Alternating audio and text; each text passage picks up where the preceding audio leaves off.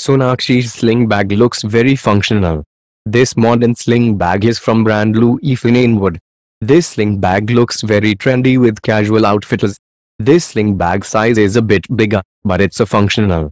Shraddha Kapoor has also taken a stylish denim bag of brand Louis Moonstone like Jacqueline here.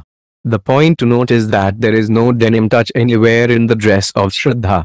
Owls are made on Jacqueline bags, unlike the rest of the heroines. Jacqueline loves Louis Vuitton's bags so much that she repeats it but in style.